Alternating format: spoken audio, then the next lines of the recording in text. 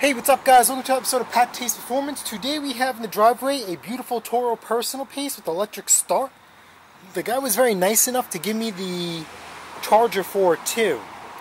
But the battery is almost dead. And it doesn't start.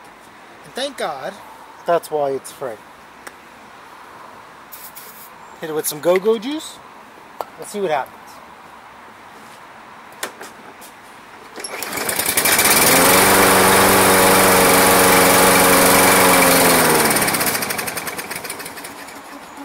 So that tells us a few things. Well, actually, one thing. Yeah, you know what? Told us a few things. It's got fuel issue because he most likely left gas in it. So this is going to be winner winner chicken dinner. By spraying ether in there, you can confirm compression, spark, um, air. All we're missing is fuel. So let's go get this thing taken apart and we will get this thing sorted out. Alright, so we got this thing on the jack stand. You got four bolts. One, two, three, four. Should be 5 sixteenths. Two. And I think the other one is like some crazy, like seven thirty seconds or something. Let's see. That's a quarter inch, that's too small. It's actually 930 seconds.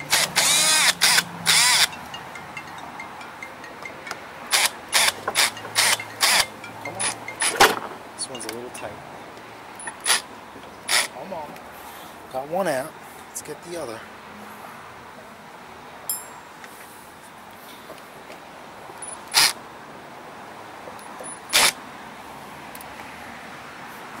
I think this is too fat. I have to get a second. I've never had this issue before. I think this is too fat. What the hell? Yeah, it's too fat.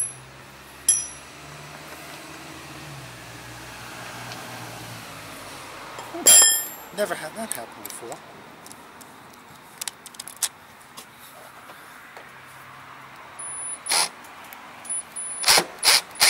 There we go. Little love. And it comes out. Here is our carburetor. Let's get some meat on those pliers. This out of the way. These are 90 degree.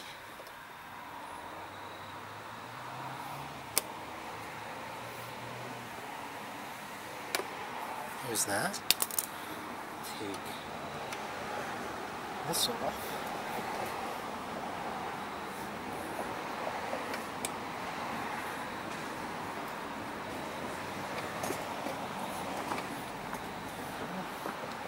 Ooh. Uh-oh. I don't have my vice grip. It's on another machine. That sucks. Alright. Pull this out forward. We're going to undo the two carb linkages. Turn it facing you. Pull out one. And pull out the other. Here's our carburetor. Golly. This guy really put gas in here. Thinking he was what? So anyway, we will get my pan. Alright, so we're going to switch back to our 5 16ths. Ooh, it's 930 seconds? What the? Alright, take two. Switch back to our 930 seconds and pull this car back.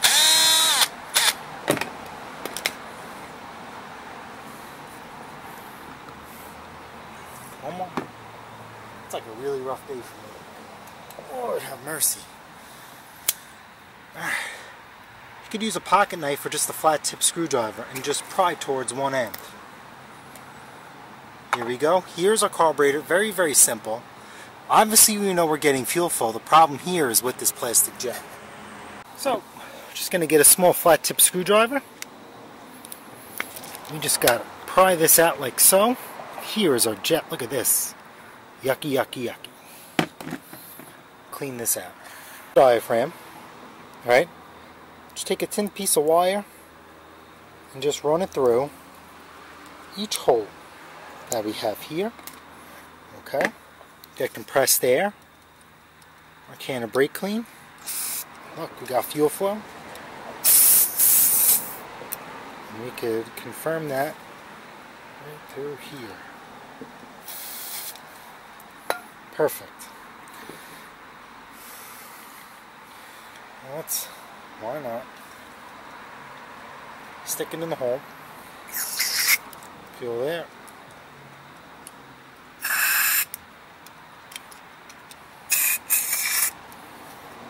We got plenty of flow. That was actually a little... Yep, and we are good. This can only go in one way, so you don't have to worry about it. Now, I'm not going to pull the float off because, like I said, this thing was full of fuel. But if you wanted to, go for it.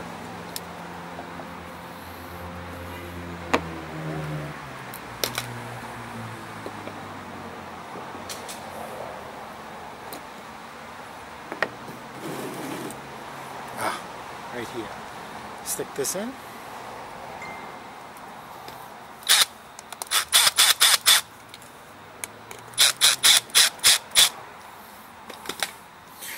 That's it. It's our clean carburetor. Back to the machine. Okay. And we could start with this one first in the back. Slide this in. Tilt the carburetor towards us, like usual. And then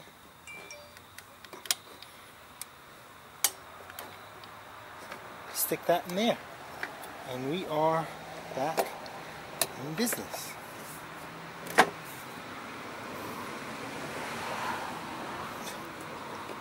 Hook up our fuel line.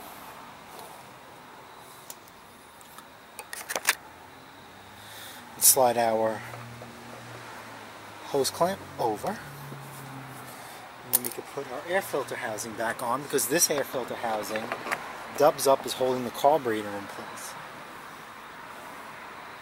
you guys remember, if you guys remember, 516 at 5 16ths at the end. That's what holds the carb to the, I mean that's what holds the air filter base to the machine. And then these little 930 seconds hold the base to the carburetor.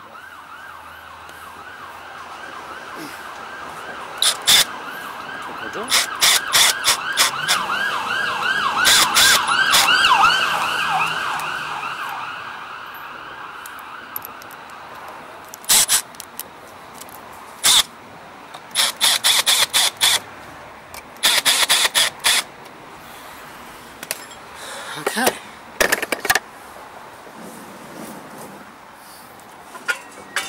That fuel. Is that fresh? Yeah, that still smells good.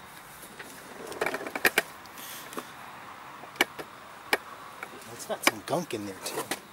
Let's throw some fresh fuel in there. Bring up the octane rating just a little bit.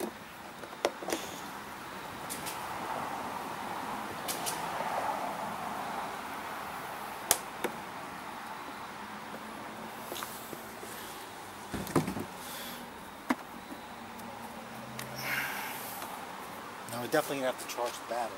So let's just see what we got now. Fire in the hole.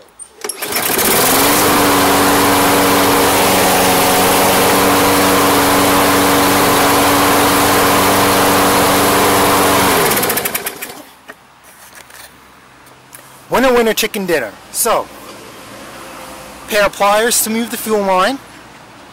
I used a set of hose clamp pliers to remove the fuel line. Well, the other set. Here we go. I'm sorry. 90 degree for the clamp, which I prefer to use. You could use whatever you think is necessary. Set hose clamp pliers for the hose clamp, I mean for the fuel line. You can use whatever you want, but I feel those are non-abrasive. And then 9 30 seconds and 5 16ths to remove the air filter base and the carburetor ball. And just a set of uh, a nice little what do they call that? I'm having a brain fart right now. Safety pin to clean out the jets and a little bit of carb clean. And this free lawnmower, this thing is 300 bucks brand new plus tax, is running again. And I wonder, yep, and the oil's clean too. Lovely, lovely. So anyway, we're gonna call this a wrap because that's what I like. Quick and easy.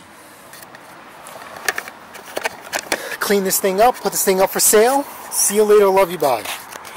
Alright guys, if you guys found this video helpful, smash the like button, smash that subscribe button, and nope. I'll see you guys on the next episode of Pattay's Performance. Later.